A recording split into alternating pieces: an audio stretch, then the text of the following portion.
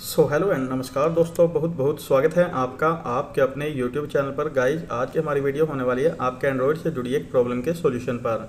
अगर आप पहली बार हमारे चैनल पर आए हैं और आपने अभी तक हमारे चैनल को सब्सक्राइब नहीं किया है बेल आइकन को प्रेस नहीं किया है तो प्लीज़ बेल आइकन को प्रेस कर हमारे चैनल को सब्सक्राइब कर लीजिए, ताकि आपको हमारी वीडियो की नोटिफिकेशन सबसे पहले मिलते रहे।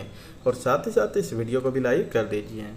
देखिए गाइज़ आज वाली इस वीडियो के अंदर मैं आपको बताने वाला हूँ, जब आप प्ले स्टोर पर जाते हैं और किसी एप्लीकेशन को इंस्टॉल करने की कोशिश करते हैं, या गाइज़ आप यहाँ से किसी एप्लीकेशन को इंस्टॉल करते हैं, या उसको ओपन करने के लिए जाते हैं तो गाइज़ आपके सामने कुछ इस तरह का एरर आ जाता है। Looks like another app is blocking access to Google Play turn off any apps that might be drawing over the screen and try again अगर गाइज़ आप भी फेस करते हैं इस प्रकार के एरर को तो गाइज़ ये वीडियो आप ही के लिए है। आपको हमारी वीडियो को एंड तक देखना है, बिल्कुल भी स्किप नहीं करना है, क्योंकि इस वीडियो के अंदर गाइज़ मैं इसका एक सोल्यूशन आपको बताने वाला हूँ, जिससे गाइज़ आपकी ये प्रॉब्लम जल्दी ही शॉर्ट आउट हो जाएगी।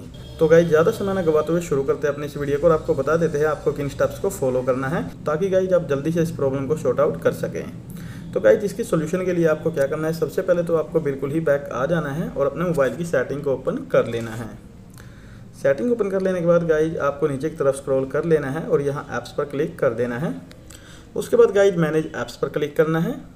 और यहाँ पर गाइज़ आपको देखने को मिल जाएगा इस तरह का इंटरफेस और आपको सर्च बार में सर्च कर देना है प्ले स्टोर तो गाइज़ आपको प्ले स्टोर पर टैप करना है। उसके बाद आपको नीचे की तरफ़ तीन ऑप्शन देखने को मिलेंगे फोर स्टॉप अनइंस्टॉल अपडेट और क्लियर डाटा आपको क्लियर डाटा पर क्लिक कर देना है यहाँ से कर देना है क्लियर कैच और उसके बाद कर देना है अनइंस्टॉल अपडेट अनइंस्टॉल अपडेट कर देने के बाद गाइज़ आपको बैक आ जाना है। बैक आ जाने के बाद गाइज़ आपको अपने मोबाइल को रिस्टार्ट कर लेना है। रिस्टार्ट कर लेने के बाद गाइज़ आप देखोगे आपकी प्रॉब्लम यहाँ से सॉल्व हो जाती है। अगर गाइज़ किसी की नहीं होती है, तब गाइज़ आपको नेक्स्ट स्टेप की ओर बढ़ जाना है। यहाँ पर गाइज़ मैं आपको एक बात और बता दूँ, ये प्रॉब्लम आपके सामने आती कब है? जब आप किसी थर्ड पार्टी एप्लीकेशन को क्रोम या किसी और ब्राउज़र से डाउनलोड करते हैं इंस्टॉल करते हैं अपने मोबाइल के अंदर और गाइज़ उसको परमिशन दे देते हैं किसी दूसरे ऐप्स पर रन करने की, तब गाइज़ आपके सामने ये प्रॉब्लम आती है। अब गाइज़ हम बात करते हैं सेकंड सॉल्यूशन की, उसके लिए गाइज़ आपको अगेन अपने मोबाइल की सेटिंग ओपन कर लेना है।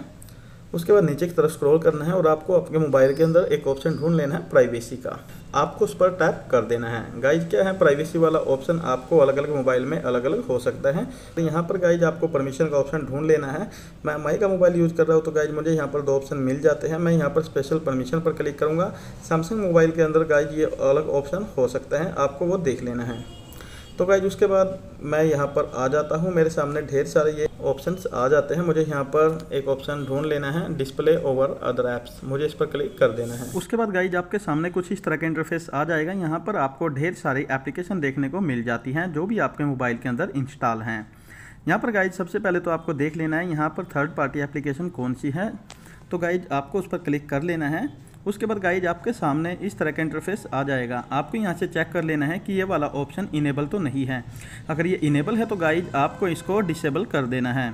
इसी प्रकार गाइज़ आपको है ना, जितनी भी एप्लीकेशन आपके मोबाइल में हैं, उन सभी को चेक कर लेना है और उनकी ये परमिशन आपको गाइज़ यहाँ से डिसेबल कर देनी है। ये कर देने के बाद गाइज़ आपको बैक आ जाना है। बैक आ जाने के बाद गाइज़ आपको अपने मोबाइल को रीस्टार्ट कर लेना है। रीस्टार्ट कर लेने के बाद गाइज़ आप देखोगे जो आपकी प्रॉब्लम है, वो 101 परसेंट सोल्व हो चुकी है। आज की इस वीडियो के अंदर गाइज़ मेरे को आपको जस्ट इतना ही बताना था। ये 101 परसेंट वर्किंग ट्रिक है गाइज़ अगर इस ट्रिक की हेल्प से गाइज़ आपकी प्रॉब्लम सोल्व हो जाती है तो प्लीज़ कॉमेंट करिएगा। तो आज की इस वीडियो के अंदर मेरे को जस्ट इतना ही बताना था। अगर आपको हमारी वीडियो पसंद आई तो प्लीज़ हमारे चैनल को सब्सक्राइब कर देना। वीडियो को लाइक कर देना और अपने दोस्तों के साथ शेयर करना मत भूलना। तो गाइज़ मिलते हैं एक नई वीडियो में। तब तक के लिए bye bye friends love you all take care